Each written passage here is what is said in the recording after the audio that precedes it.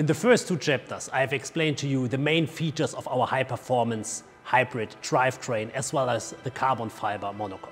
But now probably you are asking yourself, how is the car feeling like? How is the driving experience? And this I will explain you now. For the first time, we offer to the customer a huge bandwidth of possibilities to adapt the car to the personal purpose. We have different driving modes and on top we have different hybrid modes. Overall we have 13 different combinations. But let's take a look at some examples. For instance in Città, the car enables really in several conditions purely electric driving, including four-wheel drive.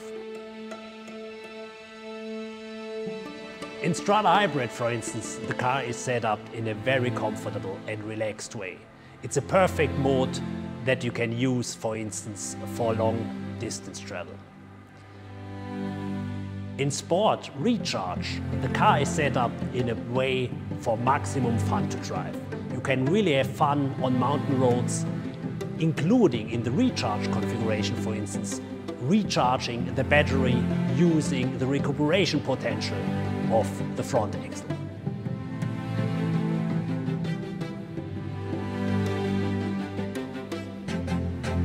And last but not least, in Corsa Performance for sure, the car is set up in a very sharp way using the best and most thrilling performance of the car. So as you have seen, the new 744 is a real Lamborghini, offering a bandwidth of driving experience that was never seen before. So we can't wait to show you the car, but let's wait some days.